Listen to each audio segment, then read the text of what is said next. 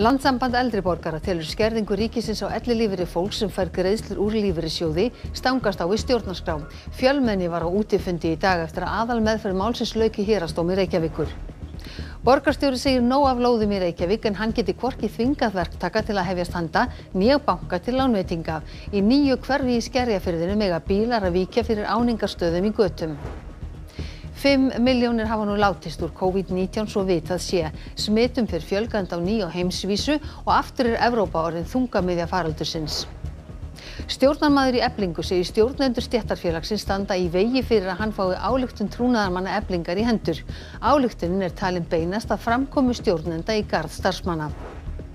Garbaðingar og Kópavóksbúar ráku upp stór augu í morgun þegar við þeim blasti mannlaust vikingaskip á Lambhúsatjörn skamt frá Bessastöðum. Við fræðumst um þetta dularfulla skipstrandi í fréttatímanum.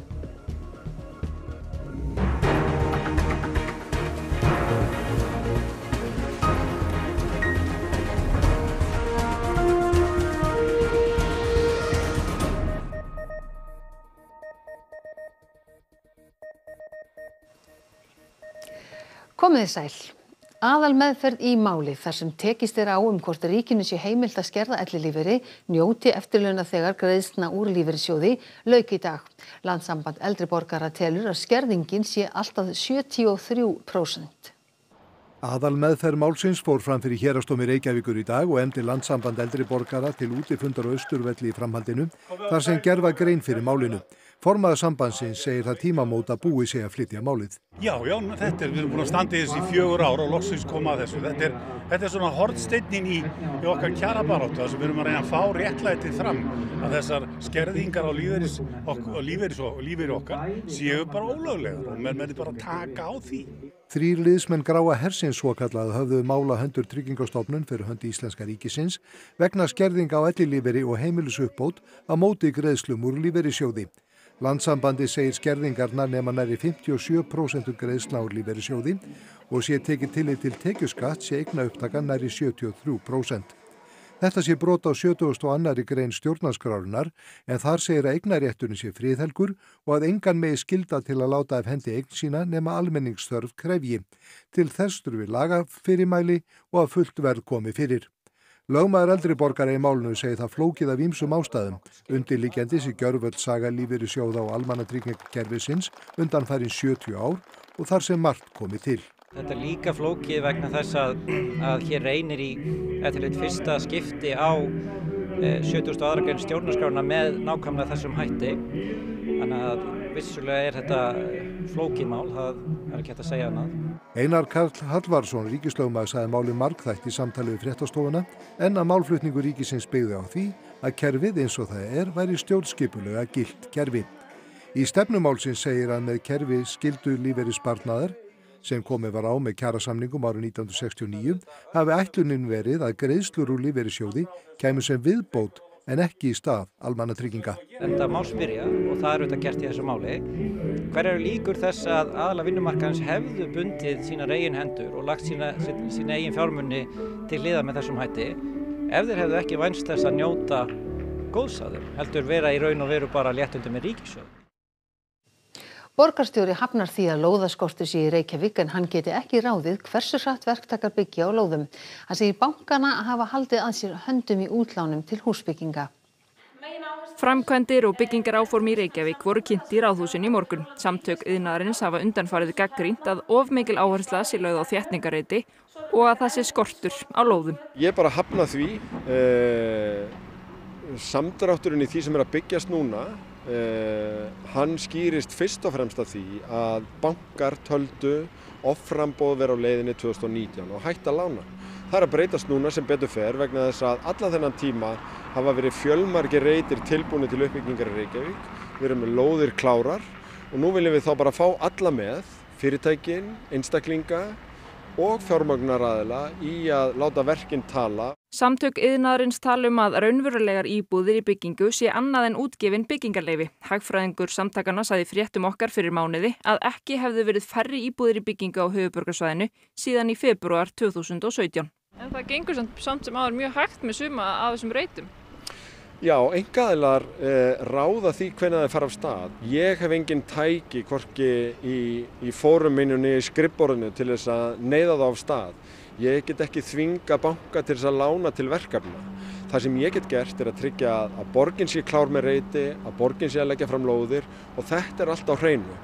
Nú þurfa aðrir að gera sitt. Þetta eru svæðin sem á að byggja upp í borginni. Á fundinum í dag var lögð áhersla á uppbygginga á ártúnshauða þar sem áformað er að yðnaðakverfi viki fyrir 20.000 manna íbúðabyggð ásand Hjeðinsreiti, Gufunesi og nýja skerjafjörðinum sem á að rýsa við suðurenda Reykjavíkurflugvallar. Í hönnunarleiðbyningum fyrir skerjafjörðin er lagt upp með að íbúar fái tvo þriðju af göturýminu. Við erum að e, setja bílinn, aukutæki sem gest í göttunar og skapa frekar dvalasvæði og leiksvæði eða, eða áningastaði í göttunum. Ég hugsa þetta sé, sé svolítið nýtt hérna á Íslandi já og hvað við, að við séum að hugsa, að við séum ekki bara að hugsa 5 ár fram í tíma. Við erum að hugsa 25 til 30 ár fram í tíman. Að við erum að hugsa hvernig borg viljum við að börnin okkar búi í. Í fyrsta sinn í tvo mánuði fyrir smitum og döðsföllum vegna COVID-19 fjölgandi á heimsvísu. Fleiri en 5 miljónir hafa nú látist úr sjúkdómnum. The global number of reported cases and deaths from COVID-19 is now increasing for the first time in two months, driven by an ongoing rise in Europe that outweighs declines in other regions. Í austur-Evrópu hefur staðan verið afar slæm í faraldrinum en smituðum fjölgar nú hratt víðar í álfunni. Í Þískalandi eru teikna á lofti. Smitum og innlögnum á spítala hefur fjölgað hratt síðustu vikur og í Danmörku hefur greindum smitum fjölgað nýju daga í rauð og einni viku hafa innlagnir á spítala tvöfaldast. Så sætter vi gang i nu og genetablerer kviktest-setup'et i Danmark. Og det betyder, at vi fra i morgen i øh, Glostrup og Alberslund og Brøndby øh, øh, og Ishøj starter øh, kviktest af befolkningen, og derfor en kæmpe opfordring til mig. Selvfølgelig blive vaccineret, men også tage imod øh, testningen, og vi ruller ud så øh, også fra næste uge i resten af Danmark. Minst 62 ríki eru nú þegar byrjuð að gefa örfunaskamta af bóluefni. Today, the number of boosters that's being administered around the world, close to a million jabs a day, is three times the amount of vaccines being administered in low-income countries, which is about 300 330,000 doses a day. Alþjóða helbreyðistofnin hefur beðið ríki heims að býða fram að áramótum með örfunaskamta og deila þeim frekar með ríkjum þar sem fá hafa verið bólusett. The pandemic persists in large part because inequitable access to tools persists. Stjórnarmaður í eblingu hefur áhyggjur af framkomi stjórnenda eblingar gagvart starfsfólki. Hann hefur ítrekkað reynd að fá áleiktun trúnaðamann um starfsmannamál í hendur en segir stjórnendur standa í vegi fyrir því. Guðmundur Baldursson, stjórnarmaður í eblingu, fekk veður af áleiktun sem trúnaðarmenn eblingar samþýttu í júni og varðar starfsmannamál innan stjættafélagsins. Segist hann hafa frétt af áleiktununni í samtölu við starfsfólk sem hafi hætt störfum hjá félaginu meðal annars vegna samskipta örðuleika við stjórnendur. Eftir sem ég kemst næsta þá var það út af, út af e, starfsfólki og skrifstu eflingar sem taldi sig einhvern veginn vera já, ógnaðinnan gensalapa af e, ógnar stjórn. Hann óskaði eftir því á stjórnarfundi að fá álíktununa í hendur en fórista eflingar hafi tekið þá beðinni ósteint upp. Þess að ég skildi það að þetta var í málefni starfsfólksskristuvonar og þeirra hefamenn og okkur kemur þetta ekki við. Guðmundur leitaði liðsinnis ASI og starfsgreinasambandsins til að fá álíktununa aðfenda en bæði félög töldu sig ekki að hafa heimildir til að hlutast til um það. Var fjallaðu máli á fundi miðstjórnar ASI í september en í brefi frá ASI er bent á leiðir innan eblingar til að kalla fram álíktununa. Guðmundur tilur þær hins vegar ófærar vegna anstöðu stjórnenda. Þá hafa trúnaðamenn ekki vilja aðfenda áleiktununa og vísa það á stjórnendur. Og þannig situr málið í dag. Þannig ég hef ekki, engin önnur, önnur úræðum þetta heldur en þetta. Solveig Anna Jónsdóttir, formaður eblingar, gaf ekki kostað viðtali en bauðst til að svara spurningum í gegnum tölvupóst. Ekki barust svör frá Solveigum en fréttastofu barst hins vegar tölvupóstur frá trúnaðamanni. þar sem framkemur að starfsfólk eblingar hafi funda vegna fyrirspurnar rúf og samþygt álíktun. Í henni segir að umrætt mál eigi ekki heim í fjölmilum og að þau verði ekki bætt með umfjöllun þar. Það sé vilji starfsfólks að málið sé list innan hús og að fjölmila umfjöllun sé ekki að ósk starfsmanna. Miklar hækkanir hafi verið á hrávörumarkaði með matvæli á undanförnum mánuðum. Kaffi hefur næri tvöfaldast í verði og hveiti hækkaði um tæp 30%. Innflutningsfyrirtæki eru þegar byrjuð að tilkynna verðhækkanir til verslana hér á landi. Ímsar ástæður eru fyrir því að matvælaverð hefur farið hækkandi á alþjóðlegu mörkuðum. Miklar trublanir hafa orðið á framleiðslu í COVID-faraldrinum, flutningsverð hefur hækkað og þá hefur spákaupmennska líka haft áhrif til hækkunar. Á síðustu tól mánuðum hefur kveiti þannig hækkað um 28% á alþjóðlegum ráfurumarkaði, kaffi um 91% og havramjöl um 138%. Sigur hefur hækkað um 34% og kornum 41%. Þessar hækkanir munu eðlilega hafa áhrif á verðlag hér innanlands. Innflutningsfyrirtæki hafa verið að bóða hækkanir til vestlana, 3-4% að meðaltali, en mest upp í 10% sangvænt heimildum fréttastofu. Það er því viðbúið að þetta munu koma eitthvað við pingju landsmanna.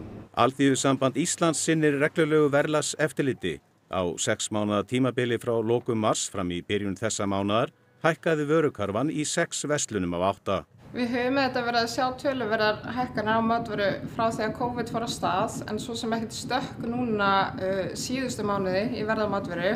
Auður segir ekki sjálfgefið að hækkun á alþjóðlegu markaði eigi að leiða til hækkunar hér á landi. Þetta auðvitað skiptir máli í verðmyndun en er auðvitað ekki eini þátturinn sem hefur áhrif á verðmyndun. Það eru minn fleiri þettir sem hafa þannig áhrif og í því samhengi má nefna að velta hefur auki skrýðalega hjá maturverslunum og við erum að sjá bara mjög góða ákomi hjá maturverslunum á árinu þannig að ættu, það ætti að vera eitthvað svigurum til þess að halda aftur af verðhækkunum. Frans Páfi, Karl Bretaprins og Greta Thunberg er á meðal þeirra sem þrýsta á þjóðarleiktoga að grípa til alvöru aðgerða loftslags á loftslags raðstefnu saminni þjóðana sem hefst á sunnudaginn í Glasgow í Skotlandi. Að óbreyttu nást markmið Parísarsamkominnlagsins ekki og litið er á ráðstefnuna í Glasgow sem síðasta tækifærið til þess að snúa þróuninni við.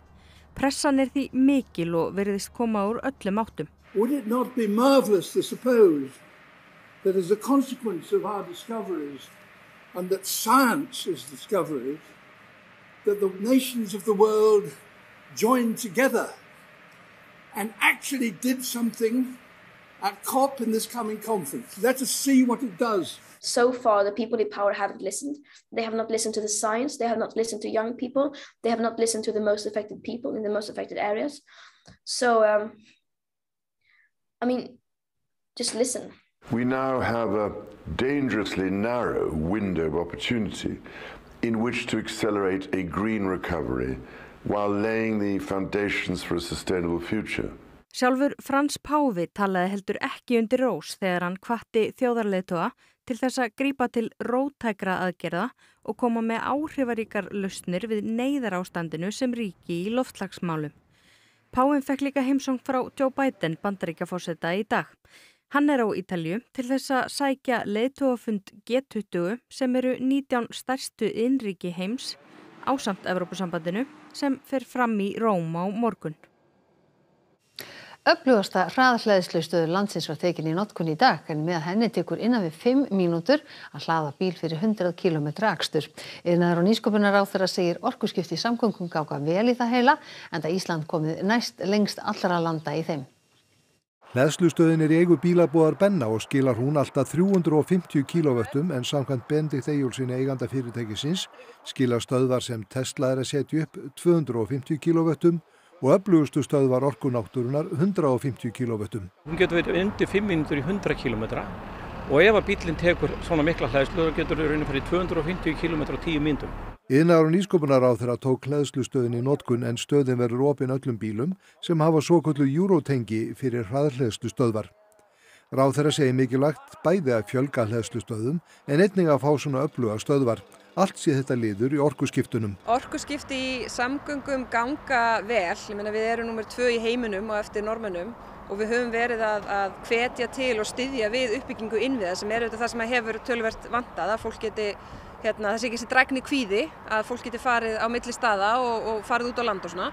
Þannig að heilt yfir gengur þetta ágætlega en við vitum líka að það verða flöskuhálsar og við þurfum að passa á þeim stöðum þar sem eru margir að það sé hægt að, að, að hlaða bæði hratt og vel og við erum að reyna að ná fram svona þessum kröftum með blöndu af því að íta eins við með, með styrkjum en auðvitað er það bara almenni markaðurinn sem er að sinna þessu sem, sem betur fyrr. Bandarís kona á nýræðisaldri ætlar að freista þess að fá sakavottur sitt hreinsað vegna dóm sem fjall yfir henni fyrir 66 árum síðan. Claudette Colvin var 15 ára þegar hún neitaði að færa sig af svæði mertu hvítu fólki í strætisvagn í Montgomery árið 1955. Það var nýju mánuðum áður en Rosa Parks vakti heims aðtegli þegar hún neitaði að hlýta sömu reglum í strætisvögnum og tímum aðskilnaðastefnu. Colvin fekk skilorðsbundin dóm en var aldrei tilkynnt að hún veri búin að afplána hann svo hún flutti til New York. Hún hefur óttast alla tíð að verða handtekinn, snúi hún aftur til Alabama en nú hefur hún óskað eftir sakaruppgjöf. I was not going to move that day. I told them that history had me glued to the seat.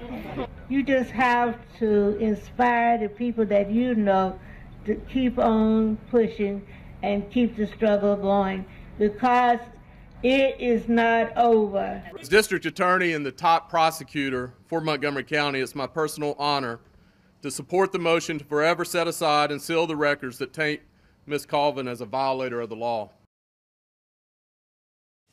Marga íbúa í Garðabæ og Kópavogi rak í rogastans þegar þeir sáu vikingasveip sem rekið hafði inn á Lambúsatjörn í morgun. Fórseti Ísland segir 12 aldir liðnar frá því knerrir sáust fyrst við Bessastadanis. Draugalegt vikingaskip sem rekið hafði inn í Lambúsatjörn vakti aðtekli margra í morgun. Þeirra á meðal fórsetans sem brásinir í fjör og smelti minnskeiða skipinu. Guðni T.H. Jóhannesson fórseti skrifaði í færslum skipið á Facebook að líklega er um 12 aldir frá því knörr sáust fyrst við Bessastæðanes og senn verða lína fjórar aldir frá því að skip sjóræningja frá Allsýr strandaði þar um stundarsækir. Allt er nú til. Fréttastofa Rúf fór á stúfuna til að kanna hvaða skip þetta væri. Símtöl á hafnar yfir völd og vaktstöð siglinga báru engan árangur. Eftir nokkurt grús kom í ljós að þetta er vikingaskipi Drakar sem smíða var í Brasilíu 2007 og flutt hinga frá Trinidad og Tobago árið 2015 um borði í stóru skipi. Mikla grinningar er í Lampúsatjörn og því þótti ekki óhægt að hreyfa við skipinu nema á háflóði. Það var í hádeginu og þá fóru félagar í Björgunarsveitinni ásali frá Seltjatanis á Slungubát og dróðu skipi til Hafnar. Alli Hermansson, hafnavörður í Kópavogi, segir í samtali við fréttastofu að skipið hafi verið við Bryggju Kópavogi frá því í vor. Útilokað sé annað en skipið hafi viljandi verið list frá bryggjum. Það hafi ekki getað losnað öðruvísi. Nokkur brögð hafi verið að því að úlingar hafa farið um borði í skipið að nætulægi. Áður var skipið við bryggju í Reykjavík. Kristinn Jón Gíslason, einn af eigundum skipsins, segir að áform hafi verið uppi í nokkur ár um að nota skipið til að sigla stutta siglingum með ferðamenn. Klæða hafi átt áhöfn uppi í vikingaklæði og fræða erlanda ferðamennum vikingatíman en sé óvist hvort þau áform raungerist. Einni setið skoðunar að selja skipið. Skipið hefur aldrei verið með haffærtinskirtinni hér á landi og ekki heldur leifi fyrir farþegarflutninga. Skipið var smíð eftir mynda á gögstaðiskipinu að það er starsta vikingaskip sem varfist hefur frá vikingatímanum og er til sínis á sapni í Ósló. Það hefur varla farið fram hjá nokkrum manni að hrekkjavakan er á sunnudaginn. En raunam á segja að helgin sé undir lögð af hrekkjavöku viðburðum hjá stórum sem smáum. Í skautahöllinni á Akureyri má sjá alls konar óhugnanlegar verur á sérstöku hrekkjavöku skautadiskói sem stendur nú í þessum töluðu orðum. Búið er að skreita höllina og setja upp drauga hús og ekki hann að sjá en að ungmennin njóti sín afar vel. Hönnunaverlaun Íslands voru veitt nú á sjöfunda tímanum í kvöld í þremur flokkum. Handhafar hönnunaverlaunana í ár eru fyrir Sigurður Oddsson, Mattias Rúnar Sigursson og Gabriel Benedikt Backmann fyrir ásýnd hljómsveitarinnar Hjaltalín. Viðurkenningu fyrir bestu fjárfestingu í hönnun hlaut tölvuleikja fyrirtækið CCP Games sem gefur út leikin EVE Online Og þá hlaut Gunnar Magnússon, húsgagna, hönnuður og innanhúsarkitekt. Hann hlaut heiðusverlaun hönnunarverlauna Íslands. Til hamingi með þetta. Þá að veðri. Það verður norðlægari vindur á morgun, víða góla eða kaldi og væta með köplum en bjartviðri um landið suðvestanvest. Hiti verður 2 til 8 stig en Rapp Guðmundsson viðurfræðingur hann fyrir nánari við veðrið að loknum íþróttum sem Einar Örn Jónsson fréttamaður sérum í kvöld. Lovisa Thompson landslískona í handbolta segir að gleði leiksins hafi breyst í kvöð því að hún ákveði að taka sér frí frá handboltaeftum.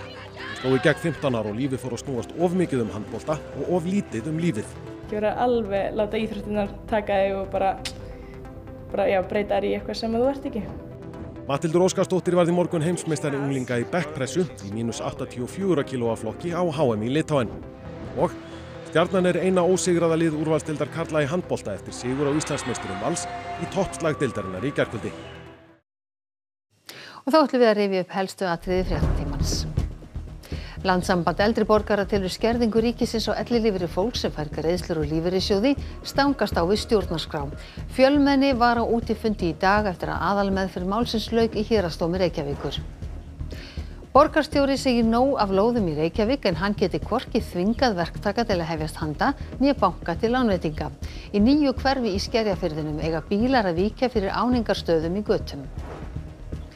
5 miljónir hafa nú látist úr COVID-19 svo vitað sé. Smitum fyrir fjölgand á ný og heimsvísu og aftur er Evrópa orðin þungamiðja faraldursins. Stjórnarmaður í eblingu segir stjórnendur stjættarfélagsins standa í vegi fyrir að hann fái álíktun trúnaðarmanna eblingar í hendur. Álíktunin er talin beinast að framkomu stjórnenda í garð Garðbæðingar og kópáspúar rák upp stóru augu í morgun þegar við þeim blasti mannlaust vikingaskip á Lambhúsatjörn skamt frá Bessastöðum. 1200 ár eru frá því knarr sáist fyrst á þessum slóðum. Þessum frétta tíma er að ljúka og það er komið að íþróttum og svo veðri. Það eru næst fréttir í útvarpinu klukkan 10 í kvöld og nýjustu fréttir má að sjálfsögðu alltaf finna inn á rú.is. En við ætlum að segja þetta gott að sinni. Vonum að þið njótið helgarinnar sem best verið sæl.